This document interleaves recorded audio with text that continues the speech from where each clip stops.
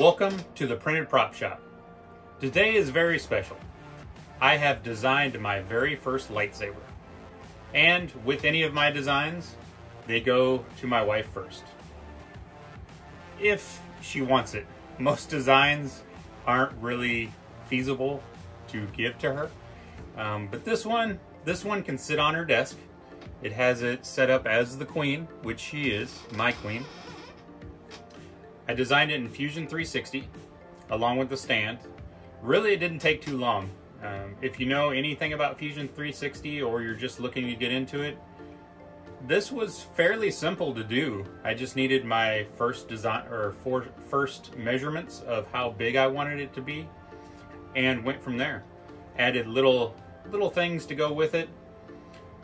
It's nothing crazy. And it was fairly simple. Yeah, I like it. Here's how I did it. So I'm just showing you the Fusion 360 um, product that I created in a 3D environment. I didn't really want to focus on the design portion because that's not what this is about, this channel. Um, here's the stand. I just just showing in a 3D environment is all it is.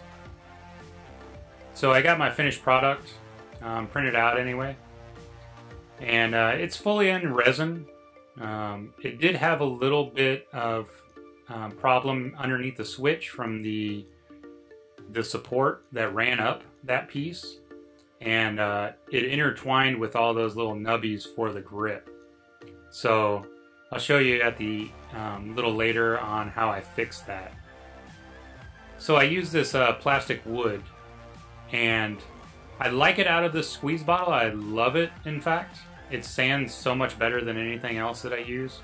And inside the tub that you see, it just sands so much better. But they only make it in the bottles in that that style anyway that I found. Here I use a nail filer, and nail filers are great if you want to get into 90 degree corners. Um, something sandpaper might just tear up a little bit. And you go very light. Anytime you see me sanding anything, I'm going very light on it. I'm not forcing it and just slowly going over it. And here's the stand. I just wanted to show what you can do with UV resin. Um, this is some that I had left over from another model. That's why it's dyed. Um, and I go and fill it in these gaps here because this was printed out in pieces. And I put in my uh, curing box for about 5 to 10 minutes and it's good to go. And then I start sanding it. Um, sanding it is relatively simple, just like you would sand any other resin and it's great for for smoothing things out and uh, filling gaps when you don't really want to use like a certain filler. I've gone ahead and thrown on a uh, coat of primer and I've gone into my wet sanding here. Wet sanding is just simply uh, grabbing some water with uh, some fine sandpaper. Um, this is 600 grit and just going over it. The uh, primer that I have is filler primer so it does fill in any kind of those dips for the most part. I did um, two coats of filler primer on here, two light coats, let me put it like that, two light coats. And uh, I just went over and sand, sanded the, the whole unit. Um, I did go out after this, after about two days, I let it dry. I always let things dry. Um, reason being is that water can sit in there and then it'll sit underneath your paint. But after that, I did throw on a coat of uh, enamel spray can gold. And the gold you can see is very bright. Um, I'll actually put on a different airbrush gold to kind of dull it down, make it not so bright. But here I took some deep black airbrush paint. And I like to do this um, to go and show more depth. Um, it really pops on camera when you have that kind of depth as you saw at the beginning of the video. Um, on camera now, up close, um, you can really kind of see that overspray. And I do cover up that overspray as much as possible. Um, but overspray to me kind of shows a little bit more depth when it's on camera. And that's really what I'm going for. I'm going for on camera to show you what kind of props you would make to film not necessarily to have sitting on your shelf. If you're having it sit on your shelf, you would probably um, be very precise, probably use some masking tape, even though I don't really like painting with masking tape. I like kind of blending the colors together more than anything when I'm airbrushing.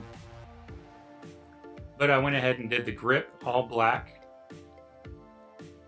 Here I went and threw on a coat of uh, gloss clear coat. And uh, not matte, I wanted it to really pop on her uh, on her desk. I wanted it to be a, a sh really showpiece. Now that little piece that was underneath the switch, that just didn't turn out very good in the print because that support. I wanted to do something with it, but I didn't want to put in a wire because wire kind of shows um, I don't I'm not sure of what I'm gonna say about what a wire says.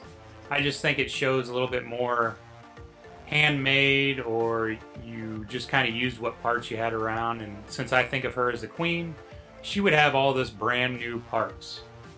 So there really wasn't a need to put a wire in there, and I didn't really want to go crazy with having to try to figure it out. And purple kind of shows a little bit of a dark side. Um, if this was um, an actual blade, I would think it would be a deep purple. But it did its job. And it's uh, just some fabric I had lying around with some hot glue to hold it down.